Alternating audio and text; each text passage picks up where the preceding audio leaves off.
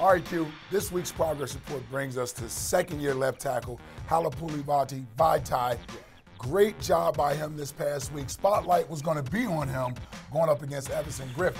And quite frankly, we didn't hear Griffen's name all night being called. Very little because, and everyone talked about Griffen coming into this game, had 13 sacks, led this team in sacks, but Vaitai a tremendous job of keeping him away from the quarterback. This is just textbook.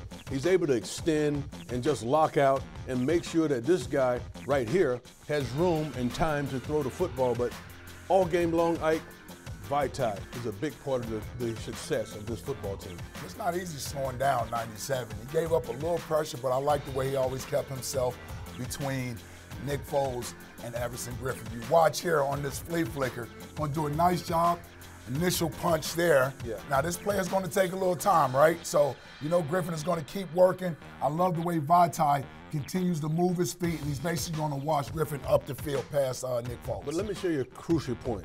Where Griffen tries to disengage and Vaitai just grabs him, pulls him right back in, and just works him around that pocket, allows Nick Foles to step up and deliver the ball down the field. And the key there again is moving his feet, being able to stay in front of Everson Griffin. And then let's watch him here on this play.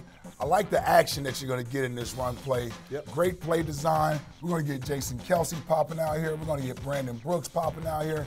This action basically is going to get these linebackers to have their eyes going here. That's right. And the design of this play is to run Ajayi back to this side. So listen, you're going to get a skilled guy. This guy is going to be free. He's going to come free. You're going to get a skilled guy in a one-on-one situation where you're expecting him to win against this guy. And you're right. This action gets everybody on the defense stepping this way, and it really sets up this block.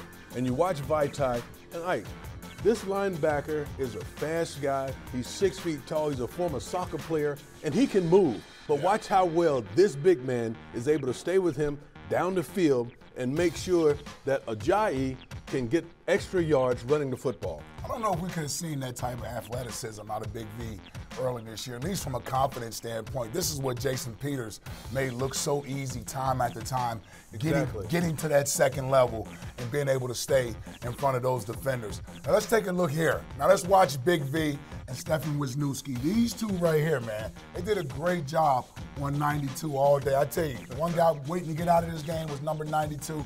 This block starts here, but it ends up five yards down the field. That's how you get pushed on the line of scrimmage. Now this is a true double team. Look at this. This is embarrassing. So when you go back and you look at the film and your whole team is sitting there, that's embarrassing. Yeah. When they're able to drive you five yards off of the football, that's really creating a new line of scrimmage and giving a lot of space for then Corey Clement to run the football.